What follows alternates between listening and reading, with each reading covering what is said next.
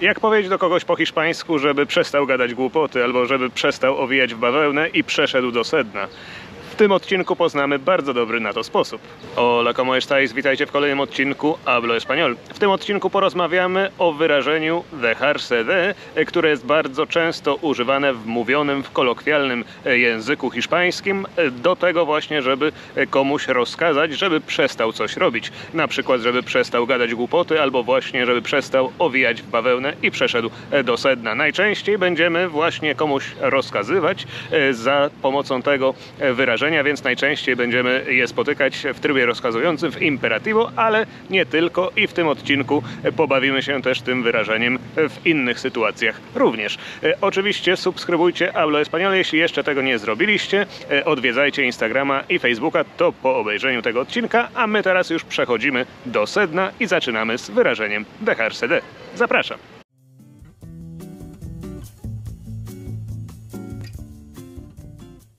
O samym czasowniku Dechar mam już inne odcinki, także zapraszam Was do e, ich obejrzenia, tak samo jak i o wyrażeniu Decharde, e, które jest bardzo podobne do naszego dzisiejszego wyrażenia, bo też znaczy, że przestajemy coś robić, e, ale działa to nieco inaczej i jeśli chodzi o taki kolokwialny, szybki, mówiony hiszpański, to to wyrażenie zwrotne dejarse de być może jest nawet jeszcze częstsze i jak mówię działa trochę inaczej, więc zobaczymy, najlepiej zobaczyć to na przykładach. E, jak to dokładnie wszystko działa. E, możemy za pomocą tamtego wyrażenia dejarde rozkazać komuś również, żeby przestał coś robić e, i najczęściej wygląda to tak, że możemy na przykład powiedzieć do kogoś deja de tonterías. Deja de tonterías, czyli przestań gadać głupoty, przestań mówić głupoty i tutaj używamy czasownika. Jeśli chcemy powiedzieć to samo, tylko tak dosadniej, szybciej i bardziej kolokwialnie, możemy to właśnie zamienić to dejarde na dejarse de i najczęściej w takich sytuacjach wyrzuca się ten infinitivo, wyrzuca się ten czasownik i zostaje sam rzeczownik, najczęściej w liczbie mnogiej i najczęściej, jako że rozkazujemy komuś, żeby przestał coś robić, to jest to słowo nacechowane negatywnie, tak jak tutaj tonteriasz. Czyli w tej wersji z dzisiejszego już odcinka możemy to ułożyć w taki sposób i powiedzieć do kogoś, déjate de tonterías, déjate de tonterías, e, czyli jak mówię, wyrzucamy już to destir najczęściej. Oczywiście to jest opcjonalne, można to tam zostawić, ale najczęściej się wyrzuca. E, i mówimy po prostu déjate de tonterías, e, gdzie w domyśle wiemy, że Chodzi o to, żeby e, przestać mówić głupoty albo przestać robić głupoty, na przykład jeśli ktoś akurat głupoty robi, a nie mówi. Tak też można to zinterpretować. E, no i właśnie tutaj widzimy, że najczęściej wygląda to w ten sposób, DHT. E, jeśli chodzi o samą formę, to jest to najczęściej imperativo i tak właśnie to powinno wyglądać. Zamiast tych tonterias może być też coś innego. Bardzo często mówi się na przykład déjate de chorradas. Déjate de chorradas. E, chorrada to oczywiście inny sposób na powiedzenie tego samego, czyli głupota, czyli tonteria właśnie. E, I jest to jak najbardziej też pasujące do tego de właśnie. E, oczywiście z samej sytuacji najczęściej rozumiemy, że tam jest to w domyśle to decir właśnie, czyli żeby ktoś przestał gadać głupoty i jak mówię, nie musimy tego wcale wspominać. Tak to właśnie wygląda w kolokwialnym hiszpańskim. No dobra, to jak powiedzieć do kogoś, żeby przestał owijać w bawełnę i żeby przeszedł do sedna? Jest to bardzo przydatne, dlatego że Hiszpanie lubią właśnie owijać w bawełnę, lubią się kręcić, lubią robić rodeos właśnie, e, czyli e, używać ogródek tutaj i okrętek zamiast przechodzić od razu do sedna.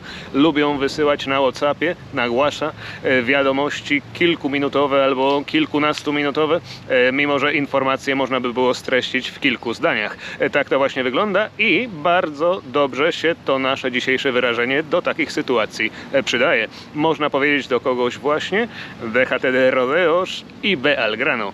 Déjate de rodeos i be al grano, e, czyli rodeos to właśnie te ogródki, te okrętki od samego czasownika a zatem przestań owijać w bawełnę, zostaw te okrętki i przejdź do sedna. E, Tak, e, tutaj mamy jeszcze inne wyrażenie, które jest bardzo ważne w języku hiszpańskim i jeśli chcecie, e, to mogę nagrać o nim osobny odcinek. To jest właśnie ir grano. Grano to dosłownie ziarno, ale używa się tego powiedzenia tak jak po naszemu mówi się iść do sedna. I o to właśnie tutaj chodzi. Tutaj mamy jeszcze jedno imperativo od czasownika ir, czyli ve al grano, e, czyli idź do sedna, e, déjate de rodeos. Tak to właśnie wygląda w języku hiszpańskim. Ten rozkaz oczywiście nie musi być tylko w stosunku do ciebie. Możemy rozkazać coś większej liczbie osób. Możemy powiedzieć na przykład dejaos de excusas y poneos a trabajar. Dejaos de excusas y poneos a trabajar. E, Tutaj mamy znowu kolejne wyrażenie bardzo przydatne, ale o ponerse hacer algo już mam osobny odcinek E, i polecam wam go, jeśli jeszcze go nie widzieliście. I co to znaczy? E, To znaczy, że zostawcie te e, wymówki, excusas, e, czyli przestańcie mówić wymówki, przestańcie mi zawracać głowę wymówkami i weźcie się do pracy, weźcie się do roboty. E, Tak to właśnie wygląda. Mamy tutaj dwa imperativos, ale na vosotros oczywiście. E, Są to być może rzadziej spotykane formy, trochę dziwnie brzmiące, ale tak właśnie one e, wyglądają, jako że obie formy są refleksivas. Dlatego tak to właśnie powinno wyglądać. Więc mamy tutaj kolejny przykład na to, że możemy powiedzieć dejaos de excusas. Jeśli nie jesteśmy z kimś na ty, tylko na usted, to też tak może być. Być może rzadziej takie sytuacje się nam zdarzą, dlatego że Hiszpanie są raczej mało formalni, no ale można sobie wyobrazić, że tak też może być e, i możemy w takiej sytuacji bardziej formalnej, e, jeśli jesteśmy z kimś na usted, do kogoś powiedzieć déjese de quejas y busque soluciones. Déjese de quejas y busque soluciones, e, czyli niech pani albo niech pan zostawi e, te skargi, czy niech pan, czy pani przes- przestanie się skarżyć e, i niech e, pan lub pani zacznie szukać, czy poszuka soluciones, czyli wyjść z sytuacji, rozwiązań. E, To znaczy, żeby przestać się skarżyć i zacząć szukać rozwiązań, e, czy po prostu szukać rozwiązań. E, Niekoniecznie zacząć, bo nie dałem empieza a buscar, ale mogłoby być empieza a buscar, mo może być busque, obojętnie jakbyśmy tego nie ułożyli, to jest w porządku. I tutaj mamy formę formalną właśnie w trzeciej osobie, dlatego że mówimy do kogoś na usted, zatem będzie to déjese zamiast déjate. Tak jak już wspominałem, najczęściej to wyrażenie spotkamy w imperativo, ale niekoniecznie tak musi być. Możemy sobie wyobrazić inne sytuacje. Możemy powiedzieć na przykład por fin se dejó de mentiras y me dijo la verdad. Por fin se dejó de mentiras y me dijo la verdad, e, czyli wreszcie skończył z kłamstwami, wreszcie przestał e, mówić e, kłamstwa, wreszcie przestał kłamać e, i powiedział mi prawdę. Tak też można zrobić. Tutaj mamy zamiast imperativo dwa razy indefinido, bo mówimy na przykład o przeszłości dalszej.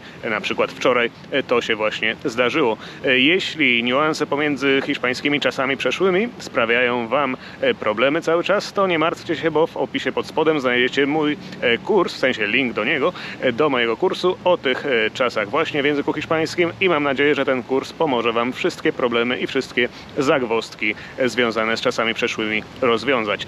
Także serdecznie Wam ten kurs polecam, a za chwilę kolejny jeszcze przykład.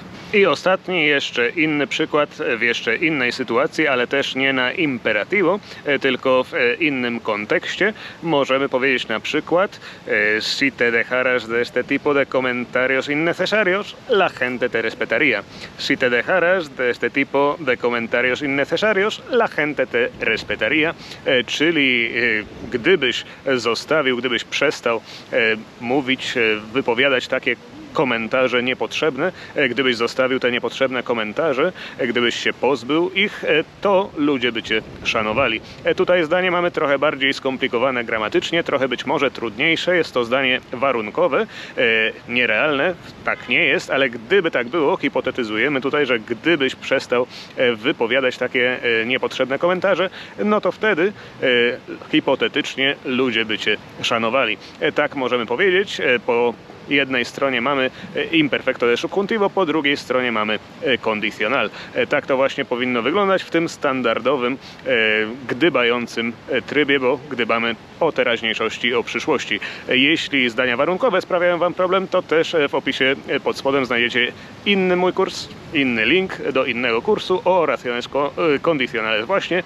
W opisie pod spodem zresztą znajdziecie linki do różnych innych materiałów, do innych kursów, jak i do e-booka o subjuntivo i wszystko to serdecznie Wam polecam.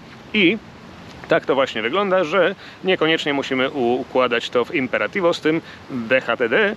Może być tutaj e, gdybające zdanie si te dejaras de este tipo de comentarios. Tak to właśnie też może wyglądać po hiszpańsku. I tak to właśnie wygląda z powiedzeniem dejarse de, e, czy z wyrażeniem dejarse de w języku hiszpańskim. Jak mówię, jest e, ono bardzo przydatne w życiu codziennym, w języku mówionym, w języku kolokwialnym bardzo często.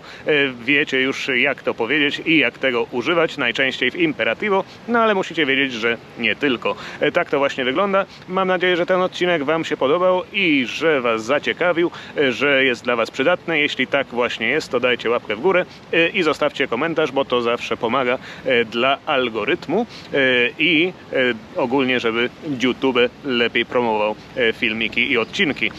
Jeśli chcecie odcinek o Iralegrano, czyli przechodzeniu czy pójściu do sedna e, do ziarna dosłownie, to też dajcie znać e, w komentarzach, tak jak mówiłem wcześniej. Na sam koniec powiem Wam, gdzie nagrywałem ten odcinek. Jestem jak zwykle w Las Palmas de Gran Canaria i jak zwykle pod, przed hotelem Santa Catalina, który jest o tam e, za mną. Tak to właśnie tutaj wygląda, że przed tym hotelem jest ogród, w którym bardzo przyjemnie się nagrywa odcinki, e, mimo że jakieś psy czasami tutaj e, koło mnie latają i szczekają, e, no to mimo wszystko nie przeszkadza to aż tak bardzo w nagrywaniu odcinków. I stąd serdecznie Was pozdrawiam z Las Palmas de Gran Canaria. Ja już będę powoli uciekał, ale Wy nie uciekajcie jeszcze, tylko zobaczcie moich patronów. A oto właśnie moi wspaniali patroni, którym pięknie dziękuję za wsparcie, bez którego to wsparcia rozwój kanału byłby na pewno niemożliwy. I jeśli jeszcze nie jesteście patronami, a chcielibyście wesprzeć Ablo Espanol, możecie to zrobić przez serwis patronite.pl albo stawiając mi wirtualną kawę przez serwis kawowy.